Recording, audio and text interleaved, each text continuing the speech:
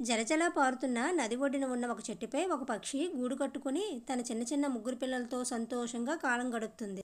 ఒకరోజు ఆ పక్షి తన పిల్లల మేత కోసం వెళ్ళి తిరిగి వచ్చే సమయానికి మూడు పిల్లల్లో ఒక పిల్ల గూట్ నుంచి తల బయటికి పెట్టి బయట ప్రపంచాన్ని చూస్తూ ఆనందిస్తుంది. అంతలో తల్లి వచ్చి ఆ పిల్లని కోప్పడింది. ఇంకెప్పుడు బయటికి చూడకు.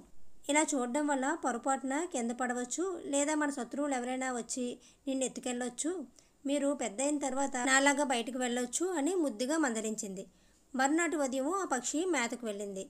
అమ్మ మాట లెక్క చేయకుండా ఆ పక్షి పిల్ల మరలా గూటి అంచు వరకు వచ్చి బయట వెంతల్లో ఆదమర్చి చూస్తుంది. ఆ సమయంలో పెద్ద గాలి వేయడంతో పట్టు తప్పి కాలు జారి నదిలో పడిపోయింది. నదిలో పడిపోయిన పక్షి పిల్ల ప్రాణాలు వదిలింది. అందుకనే ఎప్పుడైనా సరే అమ్మ కానీ పెద్దలు కానీ చెప్పిన మాట వినాలి.